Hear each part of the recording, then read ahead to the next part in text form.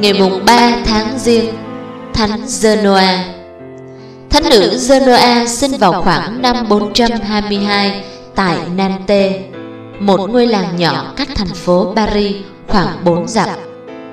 Khi còn rất trẻ, Thánh Genoa đã ước mơ dâng hiến đời mình cho Đức Chúa Giêsu. Sau khi cha mẹ qua đời, Genoa chạy đến sống với bà ngoại. Hàng ngày, thánh nữ dành thời giờ để cầu nguyện. Ngài sống gần gũi, mật thiết với Đức Chúa Giêsu và muốn giới thiệu sự tốt lành của Chúa cho mọi người. Thánh nữ Genoa có tấm lòng khoan dung rộng lượng. Ngài đã cố gắng hết sức mình để làm những việc tốt cho tha nhân. Khi người dân Paris sắp phải chạy trốn khỏi địch quân khủng khiếp đến tấn công họ, thánh nữ Genoa liền tiến lên phía trước. Ngài phấn khích dân thành hãy tin cậy vào Chúa. Ngài nói rằng nếu họ ăn năn sám hối, họ sẽ được tha thứ.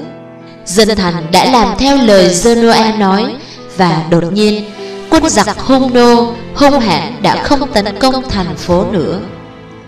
Không chỉ trong những khi cần thiết mà suốt cả cuộc đời Thánh nữ Genoa đã thực thi lòng yêu mến và tuân phục đối với ý muốn của Thiên Chúa. Và Ngài luôn luôn cố gắng bồi đắp cho hoàn hảo hơn lên mãi. Can đảm và trung thành với Chúa Giêsu là những tặng ân đặc biệt trong chứng từ Thánh nữ Genoa để lại cho mỗi người chúng ta.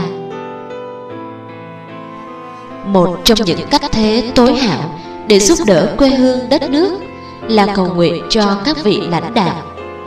Chúng ta hãy nài xin Thiên Chúa hướng dẫn họ vì ích chung của tất cả mọi người.